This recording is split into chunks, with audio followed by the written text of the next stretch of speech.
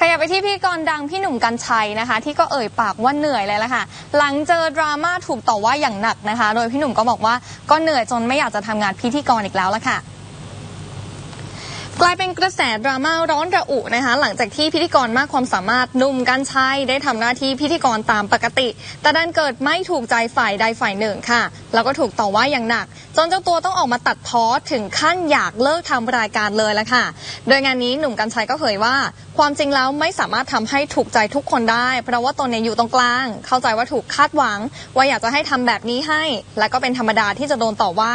แต่ในความเป็นจริงไม่สามารถเป็นแบบนั้นได้ ยอมรับว่ามีคิดลาออก เพราะว่าเหนื่อยในเรื่องของร่างกายที่มีเวลาพักผ่อนน้อย แล้วก็ไม่สามารถ balance ชีวิตของตัวเองได้นะคะ ซึ่งถึงอย่างไรก็ยังคงเดินหน้าทำหน้าที่พิธีกรแบบนี้ต่อไป เนื่องจากเป็น็นคนเลือกมาทางด้านนี้เอง ไปฟังเสียงพี่หนุ่มกันหน่อยค่ะ ผมก็จะมองในมุมบวกอยู่เสมอว่า ผมเข้าใจพวกเขาเขาคาดหวังกับเรา แต่เราเองที่อาจจะผิดที่เราทำให้เขาไม่ได้ อยากจะบอกว่าผมเองมามาอยู่ตรงจุดที่ผมเข้าใจทุกคน ทุกคนคาดหวังกับตัวผมที่อยากจะให้แบบเออทำอันนี้ทำแบบนี้ทำแบบนี้อะไรเงี้ยแต่บางบางอย่างผมก็ต้อง ต้องต้องกราบขออภัยจริง ๆ นะครับ ผมเองก็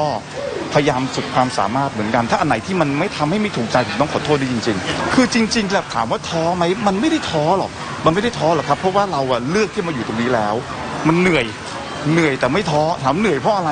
ไม่ได้เหนื่อยกับ การที่จะถูกคนนี้ว่าอย่างนี้คนนี้ว่าอย่างนี้คนนี้ ผมว่าผมผมว่าผมแข็งแรงพอ กับการที่จะจะจะต้อนจะต้อนรับคำด่าของคนณวันนี้ถามว่าเหนื่อยไหมเหนื่อย แต่ถามว่ายังต้องทำอยู่ไหม ก็คงยังต้องทำอยู่นั่นแหละนะครับ แต่ถามว่างานเลี้ยงมันมีวันเลิกลาไหมมันก็ต้องมีวันเลิกลาวันหนึ่งถูกไหมฮะแต่ไม่ได้เป็นวันนี้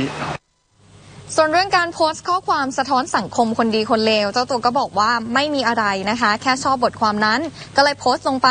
เหมือนเป็นการเตือนตัวเองไปด้วยค่ะ พร้อมกับยืนยันว่าไม่ได้มีเจตนาที่จะโยงไปถึงใคร เป็นแค่การโพสต์ลอยๆ เท่านั้นค่ะ